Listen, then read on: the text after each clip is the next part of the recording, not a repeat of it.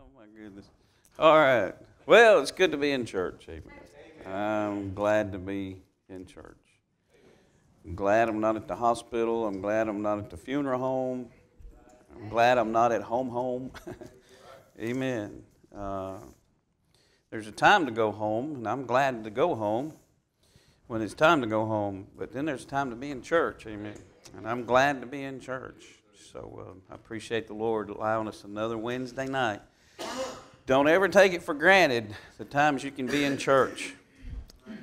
Amen. I grew up in a pastor's home, and um, I, man, when I was a kid, I, on, every morning on Wednesday morning, I was trying to start before I went to school to figure out a way that I could miss church on Wednesday nights.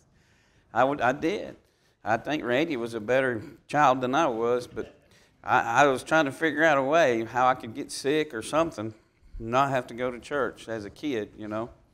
Um, but uh, but my daddy, you couldn't. My daddy, it didn't matter what he said. I mean, what I said. It was it was you know.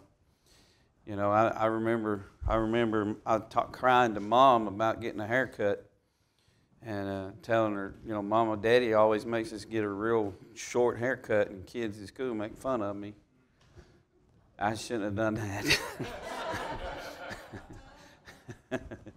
it didn't work out well for me.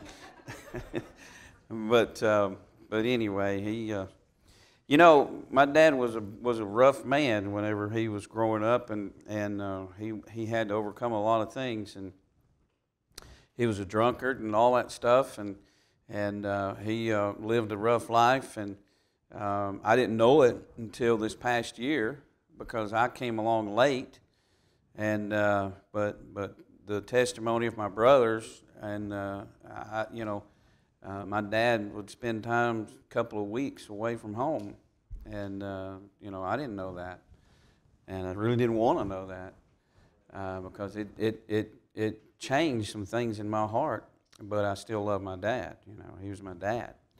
Um, but what I knew of him, I, I appreciate and love. But uh, uh, there were times when my mom, you know, would have to move, and uh, we didn't. Evidently, they didn't have money to take care of things because my dad was out doing what he did, you know, for weeks at a time, and and my mom was trying to raise four, five, six kids at the time, you know, by herself. But uh, but I've always said, even before I knew that, I've always said that when my daddy got saved, he really got saved.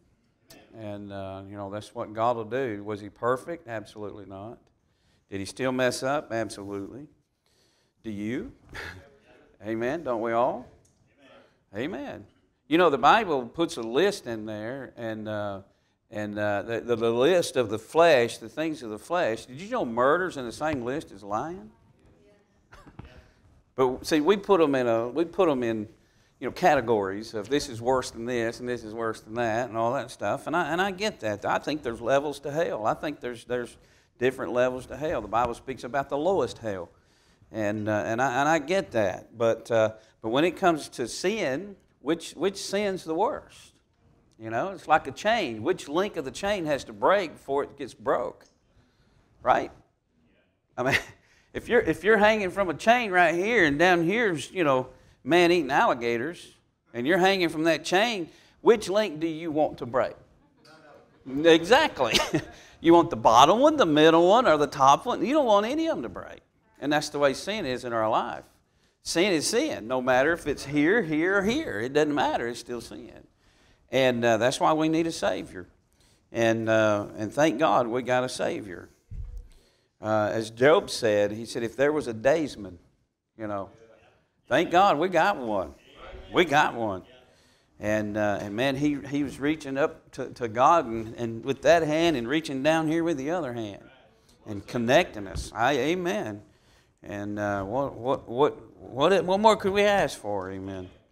But anyway, I certainly appreciate, appreciate uh, the opportunity to preach, and I think about that sometimes. And David, you know, wanted to build a house for God, and and, uh, you know, he tells Nathan, the prophet, and he says, You know, I got it in my mind to do this and this and this. And Nathan said, Well, whatever the Lord's put on your heart, whatever you feel like you need to do, go ahead and do it. Well, then the Lord talks to Nathan and says, Nathan, tell David, no, you don't need to build me a house. And gives him the reasons why. which is, you know, God's always right. And, but then what God says is, How about if I build you a house, David? He just told him he was a bloody man and he was a man of war. You can't build me a house. And then God turns around and says, But I'll build you one. what do you do with that? And then David says, Why would you look at a dog like me? Amen. Why would you even think on me? Right? And that's where all of us are at.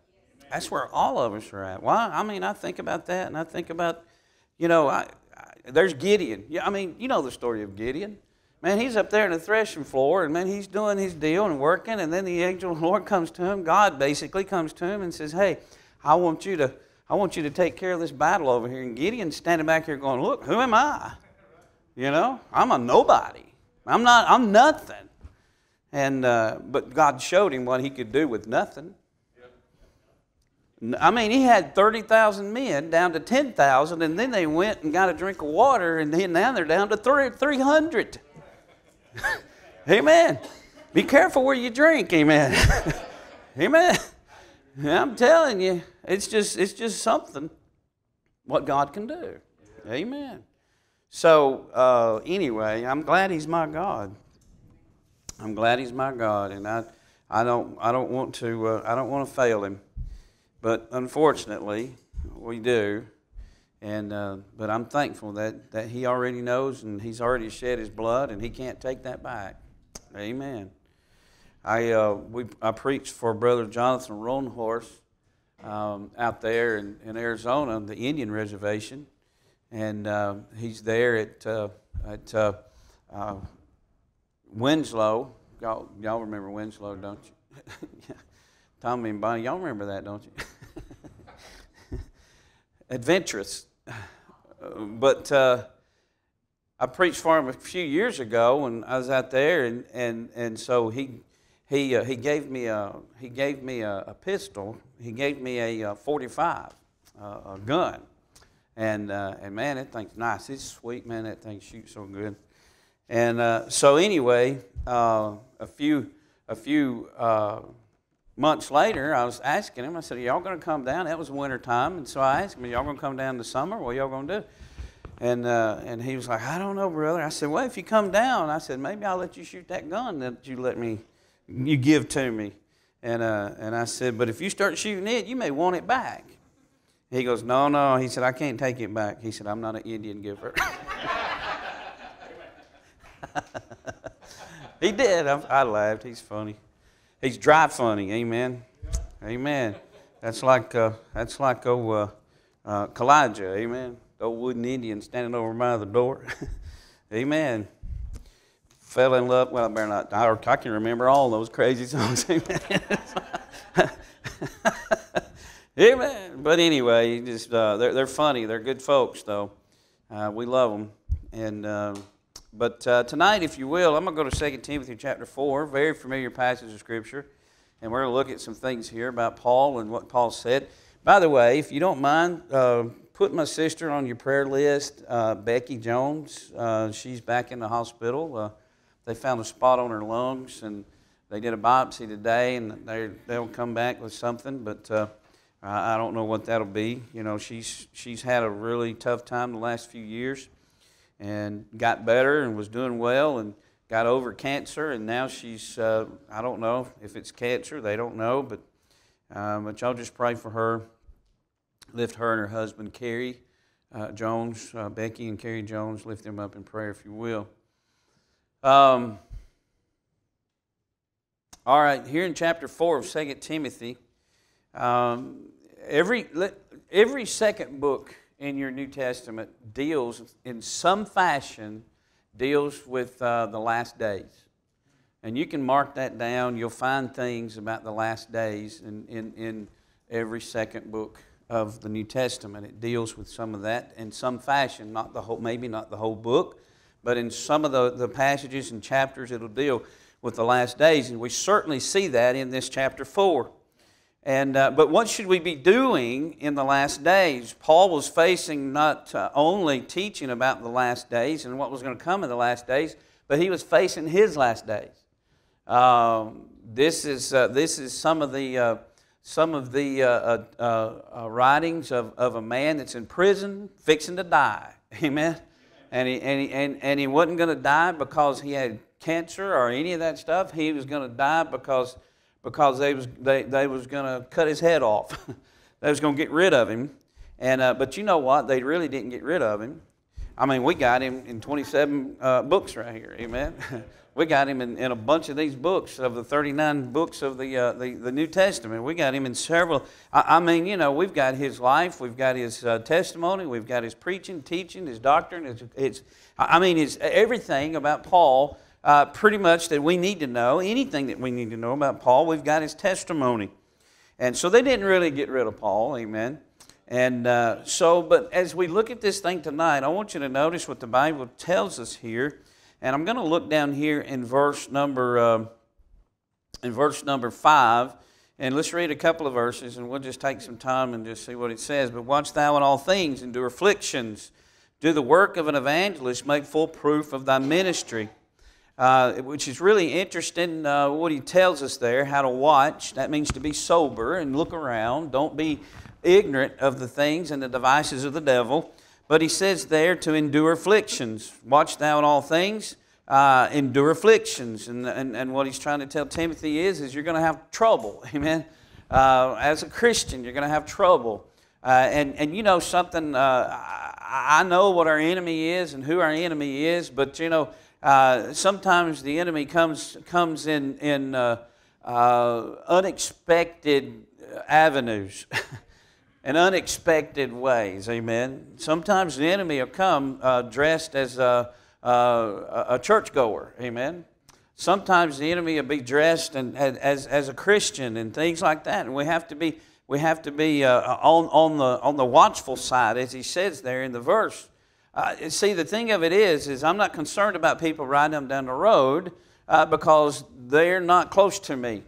Amen uh, the ones that can get to you are the ones that are closest to you. And, and so you, you, you have to be, I mean, it doesn't say that you, you have to uh, separate yourself from all of them or anything like that, but who was it that crucified Christ? It was his own people. Amen? Uh, so I'm not saying your own people is going to crucify you, but, uh, you know, most of the fighting in a Christian life comes from, uh, comes from, from within the church. I hate to say that, but I've been in church my whole life and I've seen some things, amen. Uh, and I've seen how things work. And uh, most of the disappointments that you have in the realm of Christianity comes from people that are supposed to be churchgoers, supposed to be Christian. And, and I'm not saying they're not, but that's where you're going to have most of your problems in, in the Christian side of things. So he says, endure afflictions, uh, struggles, and, and things like that do the work of an evangelist. Some people think that it's easy preaching. Some people think that, you know, hey, I can do that. Or, or they think it's easy to, to, to, do, be the evangelist and do the things that, uh, that they do.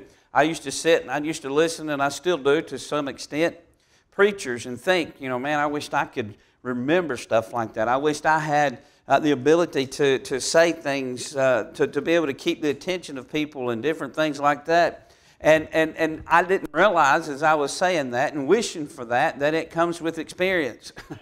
and some of those experiences are not good. They're not fun. They're, you, don't, you don't want to have to go through some of those things. But uh, uh, the Bible says to in, endure afflictions and do the work of an evangelist. And it takes work, amen. It takes study, it takes prayer, it takes those things. Make full proof of thy ministry. Uh, full proof. And of course, uh, uh, we'll, we'll talk about that here in a minute about how that this is a full proof, how Paul made full proof and, and things of that nature. But verse 6 For I am now ready to be offered, and the time of my departure is at hand. Uh, he's ready to be offered. He, he's ready to go. Amen. And as he is ready to go, he, he makes that comment the time of my departure is at hand. He didn't say the time for me to die. He didn't say the time for me to be buried. He didn't say the time for me to finish or in the sense of I'm done and, and, and it's over. He didn't say that. He said the time of my departure. And, you know, I've flown on a lot of airplanes over the years and, and uh, you know, and, and, and when you get to the airport, you'll find a big board up there that says arrivals and departures. Well, on the departure side, you find, you know, your flight and what... Uh, uh, plane it is, and you'll find uh, you know, uh, what time uh, it, it, it, boards, and you'll find where it says uh, time of arrival wherever your, your, your, your departure is going to. So what that meant was, as Paul said there, he said the time of departure is at hand. In other words, he knew he was going somewhere else. He knew that uh, he, still, he still was going to live, but it wasn't going to be where he was at.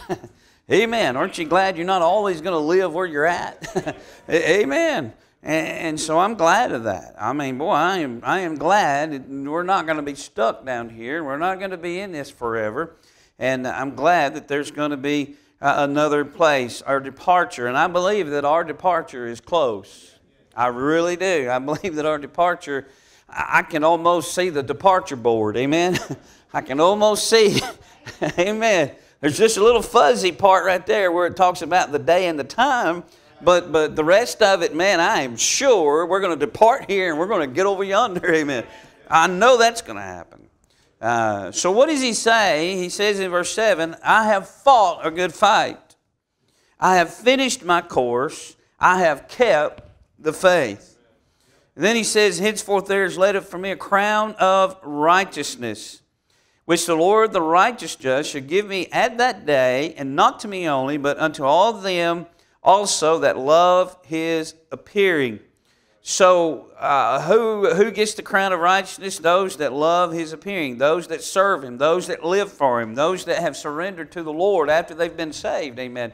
That's who gets the crown of righteousness. And that's the reason why he could say in verse 7 that he has kept the faith. So he knows he's going to get that crown of righteousness. But let's look at these three things in verse number 7. You've, you've heard messages, you've heard uh, teaching. You've heard a lot of stuff on this verse here, but I just want to pick a few things here. As I was uh, laying in bed the other night, and uh, I woke up, I don't know, 2 o'clock in the morning, and I was just laying there, and, and, and, and the thought come to me, and it started, you know, the Lord, I guess, was, was just giving some things to me as I was laying there in the bed, and I was praying, Lord, don't let me forget it. Uh, and it was on this verse in 2 Timothy 4 7. It was on this verse about I have fought a good fight, and he says, I have finished my course and I've kept the faith. And, and so as I started studying on it and looking at it, uh, I want to look at this thing. The first thing he says there, he says, I have fought a good fight. I want you to notice in this thing, it's not the fight that's important, it's the fighting. he says, I have fought a good fight. You see, you know, all of us have a fight, right? Eh, all of us have a battle. All of us have something. I mean, you know, that's not uncommon to have a battle. I mean, we all face a battle every day, right? I mean, we all do this thing. Uh, but the important part is, is that you're fighting. Because if you're not fighting, you're getting whipped. you're getting defeated.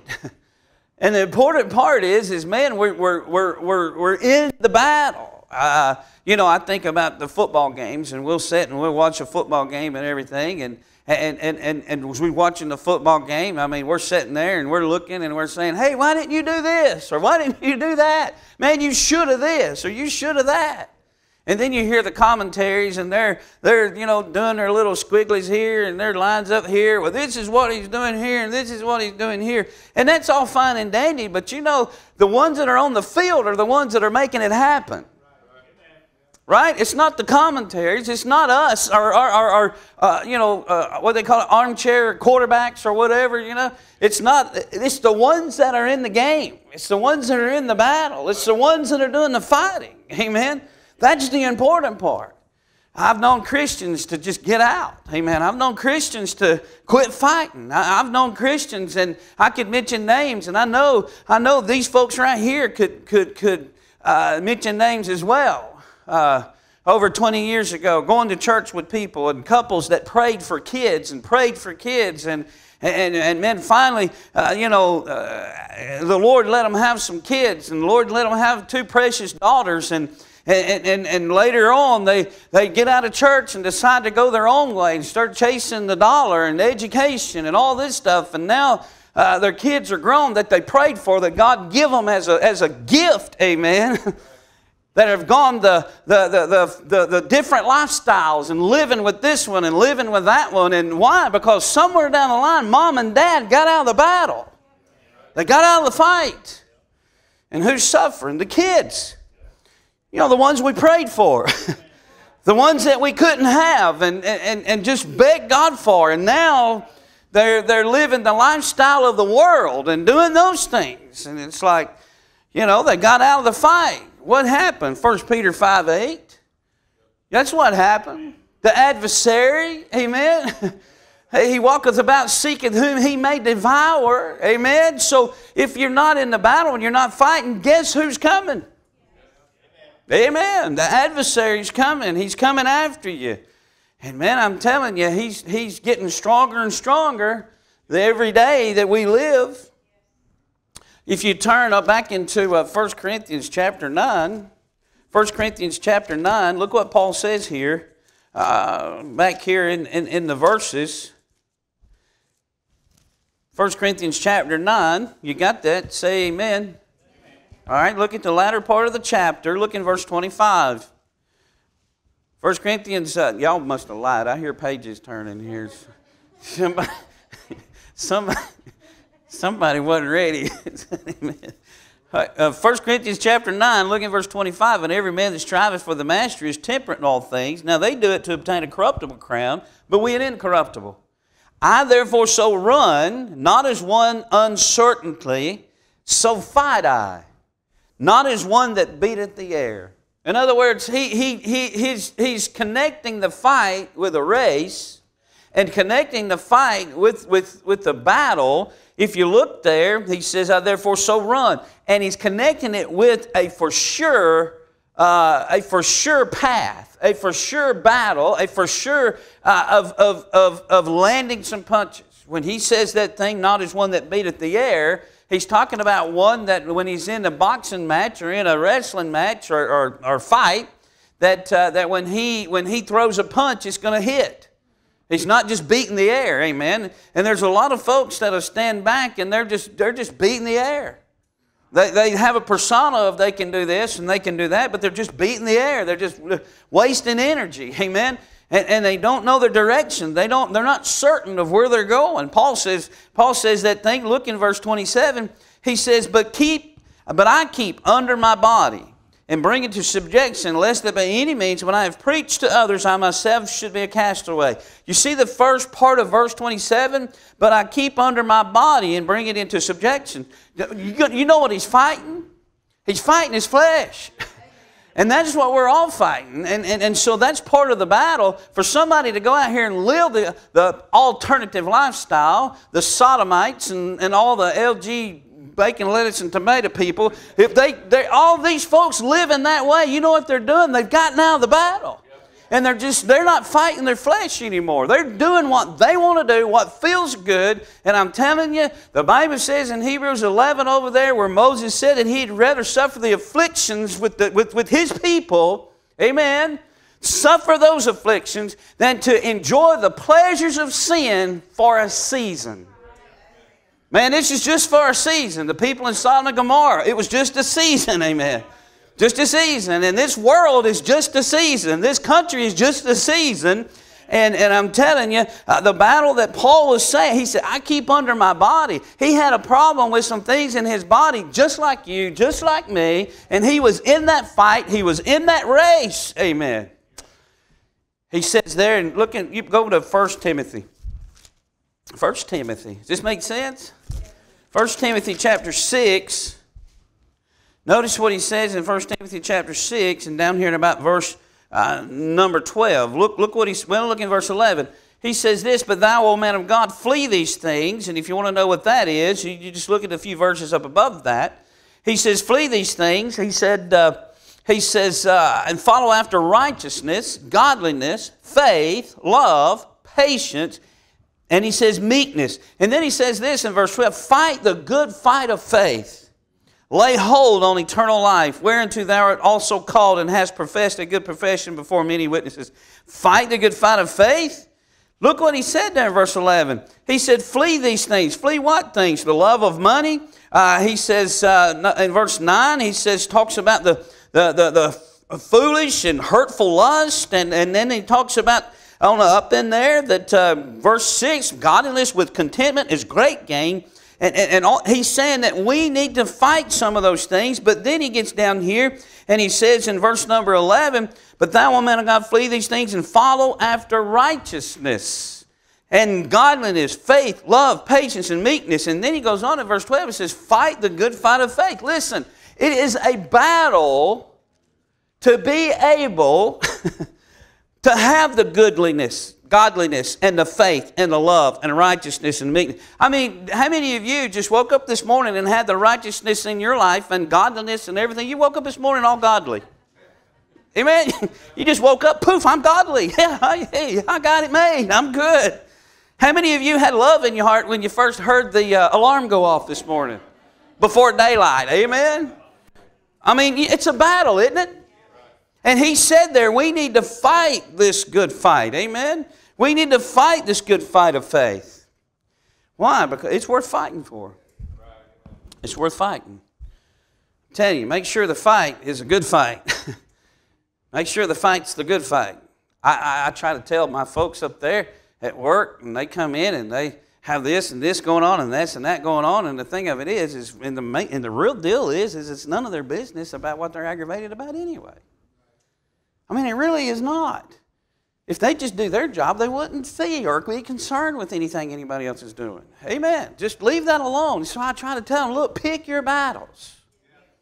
Must pick your battles. That's what Paul is saying here. He says, fight the good fight of faith. Pick your battles. Don't fight the bad fight of faith. fight the good fight of faith. There's some battles that we can get involved in, it's just to no avail. It's to no good.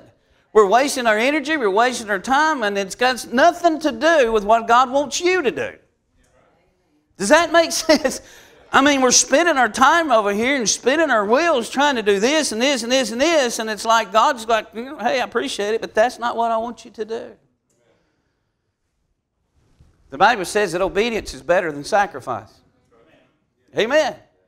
We may sacrifice a lot of our time and a lot of our effort you know, trying to take care of this and trying to take care of that and trying to do this and trying to do that. And the whole time, God's up there saying, hey, I appreciate it, but, you know, I want you to do this. Amen. And so we get caught up in that thing. What did Paul say? He said, man, fight the good fight of faith. Be careful of your battles. Pick your battles. Don't get involved in, in some of the childish and some of the kid stuff. Amen. Some of the, you know, things that, uh, you know, some people get tore up over tradition and get tore up over all this stuff. Amen. Uh, ask the Lord before you go into a battle. Ask the Lord. You say, well, why do you do that? Well, that's what they did in the Old Testament. Turn to 1 Samuel. 1 Samuel chapter 30. Before you take off and say, I'm going to do something about this, or I'm going to do this or that or this or that. Just ask the Lord, Lord, do you want me to do this? Do you want me to go to battle for this thing? 1 Samuel chapter 30. Here's, here's, here's at the end of uh, the reign of, uh, of uh, Saul. And uh, at the end of the reign of Saul, and, and, David is over there in Ziklag, and David goes out and he goes to battle uh, with, some, with the Amalekites. And while he's gone into battle with the Amalekites, you know, Ziklag gets invaded, and, and man, they, they come in and, and, uh, uh, and, they, and they, get, they get the people, they get their wives, they get their stuff, and, and they burn the thing, and here it is. Here's uh, David, and the men that are with David are, are fussing at him like they did Moses and Aaron and saying, hey, you know, we're, David says, man, they're ready to stone me. But you find here in chapter, chapter 30, You'll find here in chapter 30 uh, and about verse number, uh, look at this thing. Let's look at this thing. He says in verse number 6 And David was greatly distressed, for the people spake of stoning him, because the soul of all the people was grieved, every man for his sons and for his daughters. But David encouraged himself in the Lord his God. And David said to Abiathar, he says to the priest, Ahimelech's son, I pray thee bring me hither the ephod. And uh, Abiathar uh, says, uh, uh, brought thither the ephod to David, and David, look, inquired at the Lord, saying, Shall I pursue this troop? Shall I overtake them? What was David doing? He was saying, Hey, Lord, do I need to fight this battle? Do I need to go and battle with these people? And of course, the Lord said, Yeah, pursue, go get them.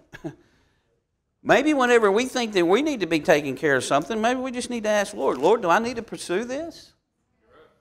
Do I need to go into battle for this thing? What's I mean, you know, you got to count the cost. You got to count the cost. Uh, here was David. He, you know, he, he, he probably knew he was ready to go, but he still needed God's approval. He knew the right thing, but he still needed God's approval. Amen. Y'all okay? Everybody all right? So he fought. He said, I, I, have, I have finished. He said, I have fought a good fight. I have fought a good fight. The, the big deal was that he, that he fought. Amen. He was a fighter. Amen. He fought. And, uh, and that's the big deal in your life and my life is that we get in a battle. We get in a battle. We fight. You know, the church is supposed to be a mighty army. It's supposed to be soldiers for the Lord. Amen. That's what we're supposed to be. It's soldiers for the Lord. And, and in our, in our Laodicean church age we're living in right now, it, it, you're hard pressed to find a good soldier. I mean, I mean, you get up and you preach and you yell too loud, you're going to offend somebody.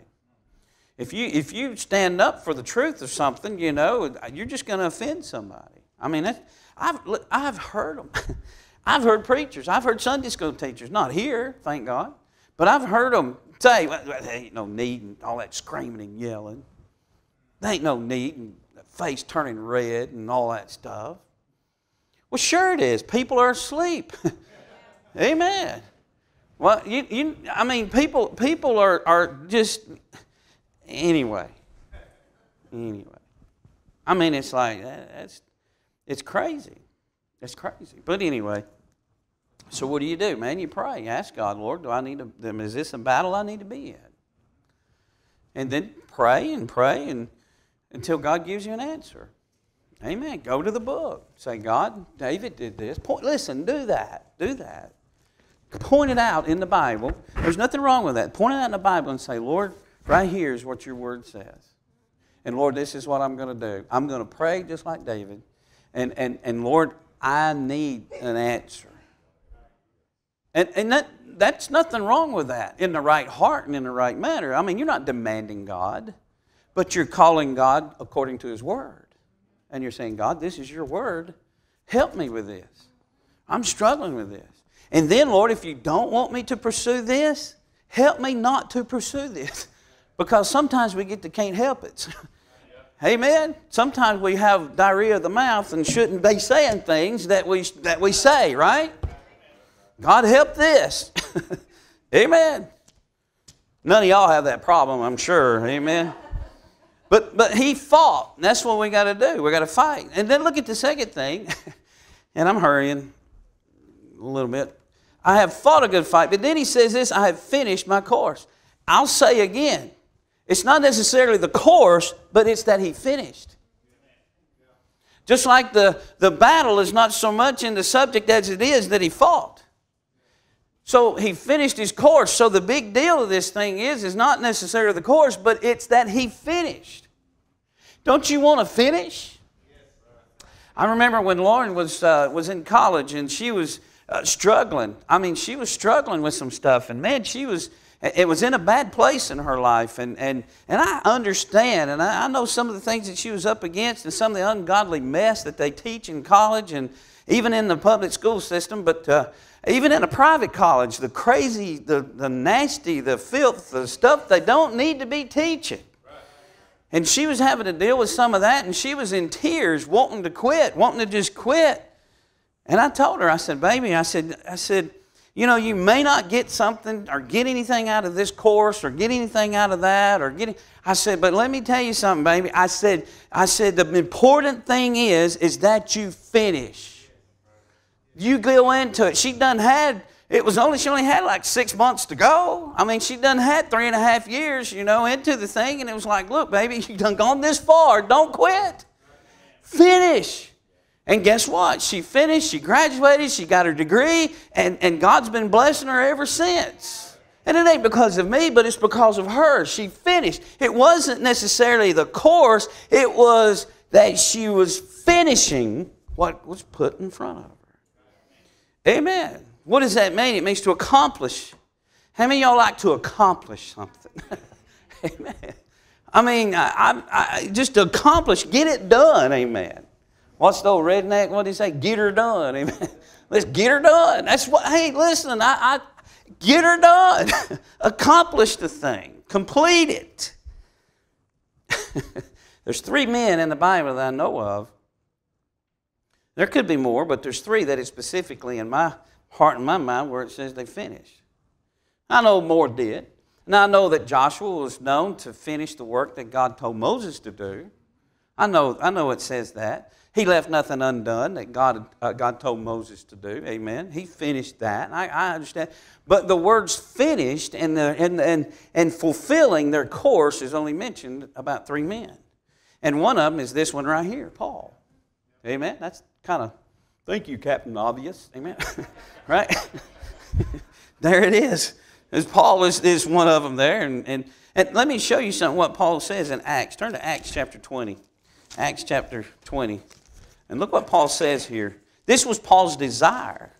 This is, this is what Paul's desire was before he got put in prison, before he was going to get his head cut off. This was his desire. Look in chapter 20 of Acts and look down here in about verse 20, uh, 24. he says this. He says, uh, he says, uh, well, this is where he was going to Rome, and they was trying to get him to not go to Rome. And they were telling him, look, you know, the Spirit's saying, hey, you don't need to go. And he probably shouldn't have went, but he did anyway. And, uh, and so here it is. And so he, he, he, says, uh, he says there in verse number 22, look at this, and now behold, I go bound in the Spirit unto Jerusalem, not knowing the things that shall befall me there, save that the Holy Ghost witnesseth in every city, saying that bonds and afflictions abide me. Paul says, i have been in bonds everywhere I went. so if I go to Rome in bonds, it's nothing new to me. And, and, and the Spirit's going to help me. God's going to help me. And he says in verse 24, But none of these things move me. Look at this. Neither count I my life dear unto myself, so that I might finish my course with joy and then he goes on and talks about the ministry that the Lord gave him, Lord Jesus, to testify the gospel of the grace of God. He, his desire was that he might finish. And that was his, that he says, I press toward the mark of the high calling. What was that mark? It was to finish. you see, it wasn't a course, man. He said, he already said it. Everywhere I go, I'm in bonds. He already knew what his course was. And, and, but, and it was just serving God. And he said, my, my, my He said, My desire is to finish. And not only finish, but finish with joy. How many of you were waking up this morning with joy? Unless your wife's named Joy, you, probably didn't. Amen. It's like, oh. right? I mean, but he said he wanted to finish with joy. He didn't want to go to his grave disappointed. He didn't want to go to his grave, disappoint, God disappointed with him and he disappointed with himself, and him going to the grave with business undone. Amen. He didn't want to do that. He wanted to finish, and he wanted to finish with joy. And that's, I mean, that right there, preach. I mean, boy, that'll preach. And he said there that, uh, he, he, that he might finish my course with joy and the ministry.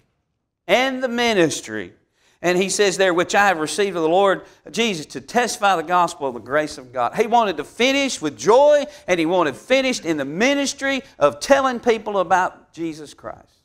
And he did both. He did both. A second one, let me show you. Uh, you're there in Acts, look in Acts chapter 13.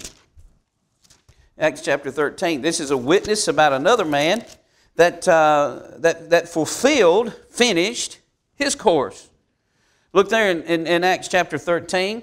Look down in about verse number, uh, look in verse number uh, 24. When John had first preached before his coming the baptism of repentance to all the people of Israel, and as John fulfilled his course, he said, Whom think ye that I am? So what happened? John finished his course. Boy, it was a short one in the ministry. Amen. It was, it was, it was a short one. But look at the thief on the cross. Man, that was a short ministry. But we're reading about his testimony. What a witness! What a witness. John fulfilled his course. Paul finished and fulfilled his course. And let me tell you one more. Let me show you one more. Go to the book of John in chapter 17. St. John, chapter 17. St. John 17.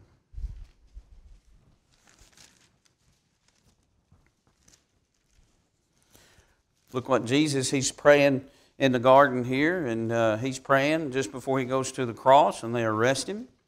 And in John 17, look there in about verse number 3, he said, What two? And as thou hast given him power over all flesh, that he should give eternal life to as many as thou hast given him. Who's he talking about? He's talking about himself. He's talking about glorifying himself, talking uh, the God, Father glorifying the Son in verse 1. And he says, In this life, in verse 3, is a life eternal, that they might know thee, the only true God, and Jesus Christ, whom thou hast sent.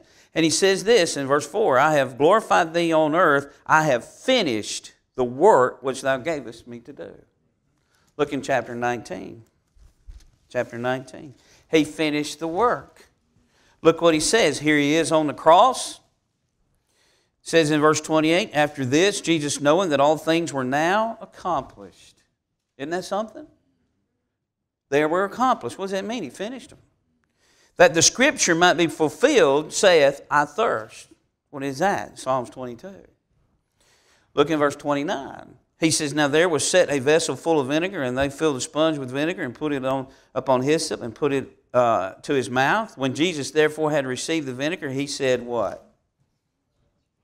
It's finished. Those three men, uh, Paul and John and Jesus, are the ones that are mentioned in the Bible of them finishing. Now, like I said, I know others did. Moses didn't get to. Elijah didn't get to. Amen. Uh, God, God took Moses up there and, and killed him, buried him. He'll come back and he'll finish it, but he ain't finished yet. Elijah, his didn't get finished either. He went up in the whirlwind, as we read Sunday, but uh, he's coming back. He'll finish it in the tribulation, amen. Revelation chapter 11, the two witnesses, Moses and Elijah, amen.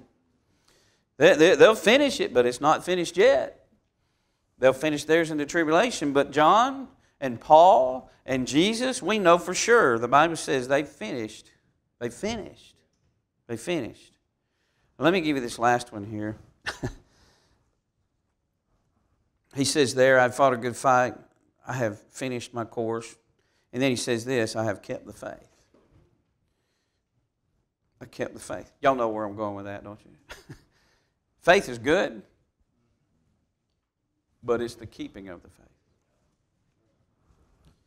Not failing. Not failing. Not losing it. Amen. You can't be unsaved. You can't be unborn. I get it. But it's the keeping of the faith is what's important. Isn't that what you're going to be judged at? The judgment seat of Christ? You're not going to be judged for your salvation. You're not going to be judged for your faith. You're going to be judged for your works of how you kept that faith, of what you've done with the Lord Jesus Christ. Amen. How you lived. Amen. How you walked, how you witnessed, how we, how we uh, did what God asked for us to do. That's, that's the judgment seat of Christ. See, our faith is, is that we're saved. I'm not going to be judged on that because I've already accepted Christ as my Savior. I'm done. I'm in. But, but, the keeping of the faith, that's the important thing.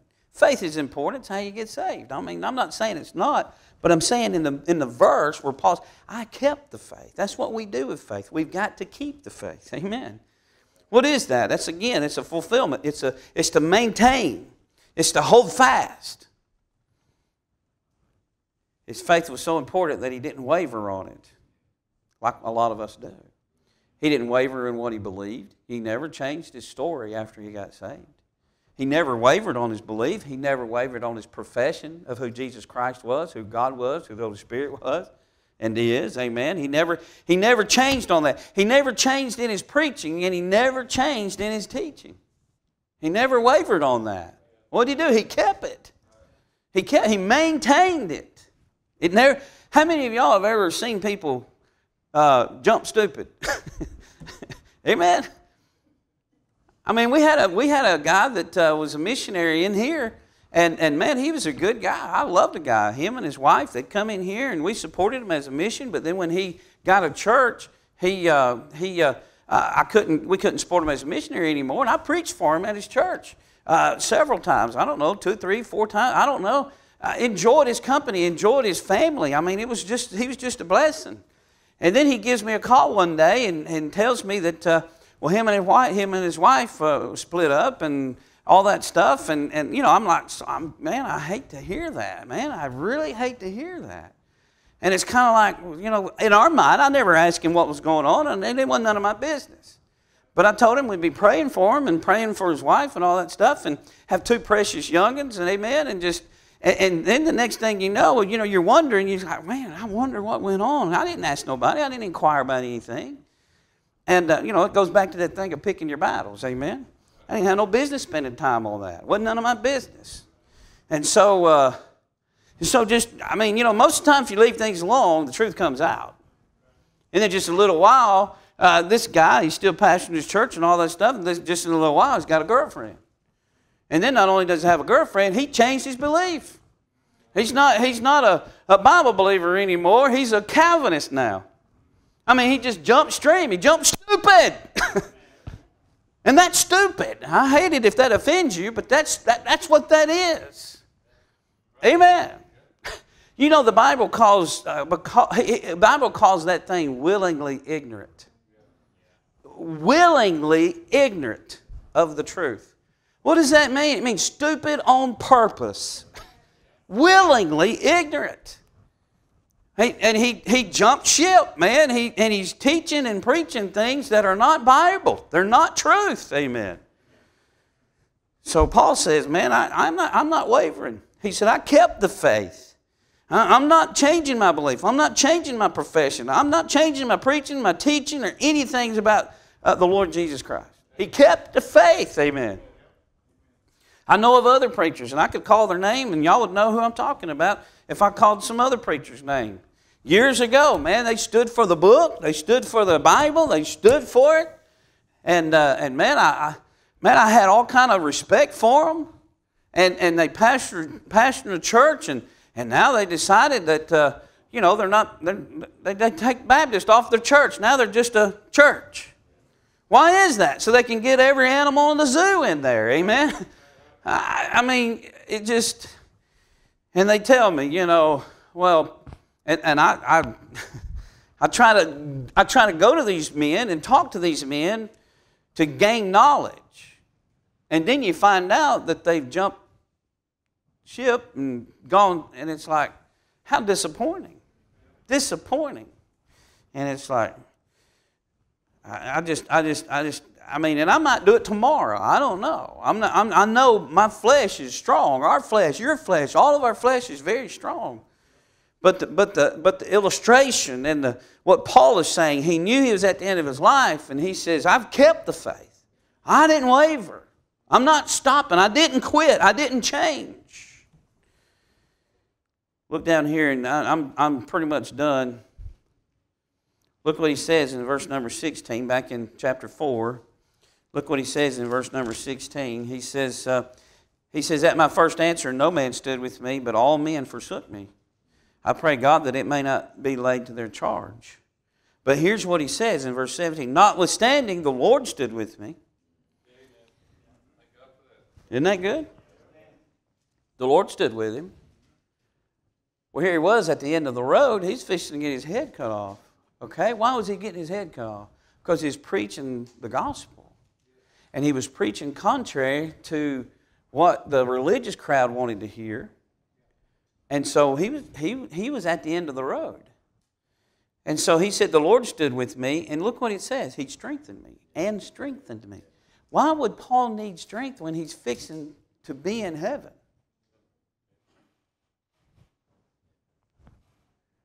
Listen, Job said, skin for skin, what a man would do for his life. Here Paul was fixing to, fixing to face the chopping block.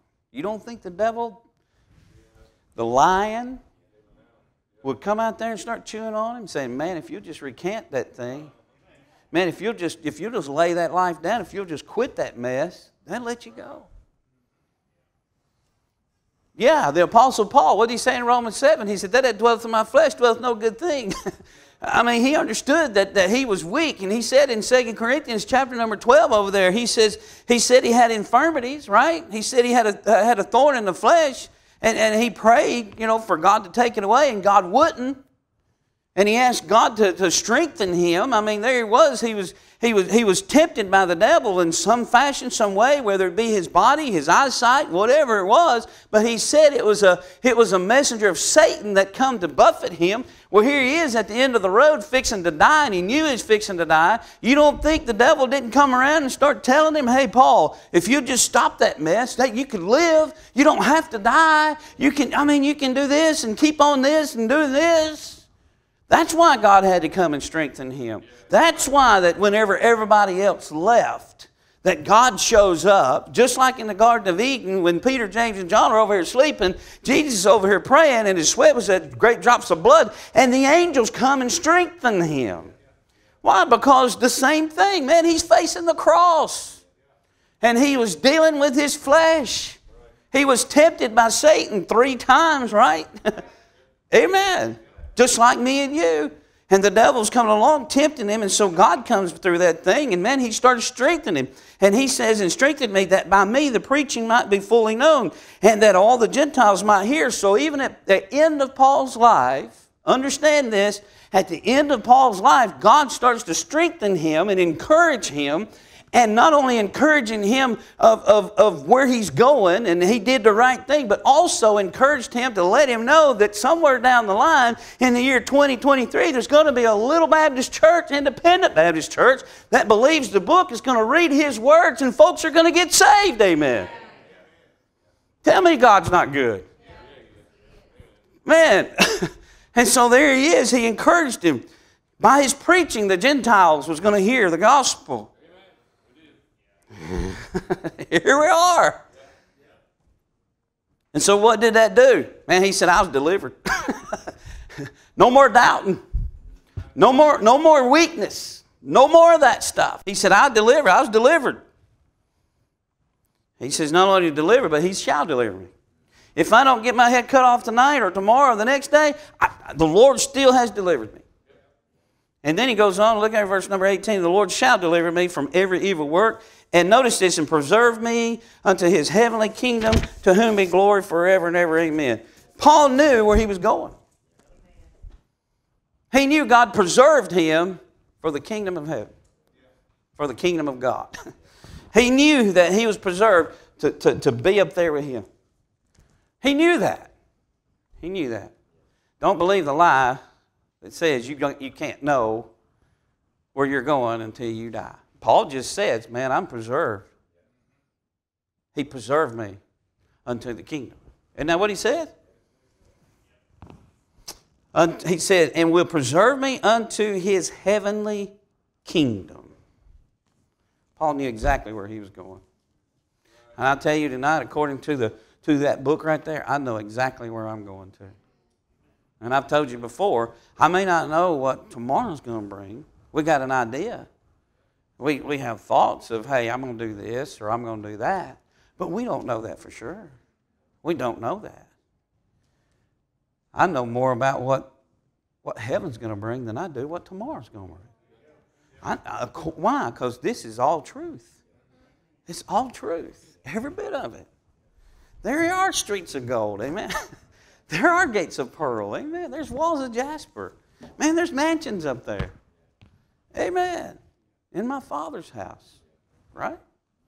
Amen. So, I fought a good fight. I finished my course. I kept the faith. Stay in the fight. Amen. Stay in the fight. Finish. Don't quit midstream. Finish. And then what God's given you, keep it. Maintain it. Amen. Maintain it. Maintain the faith. Maintain your belief. Maintain your confession and profession. Amen. Keep doing it. Keep doing it. and then when you get to the end of your life, you can say, I've fought a good fight.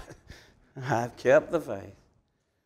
Amen. I've finished my course. You, you can say that.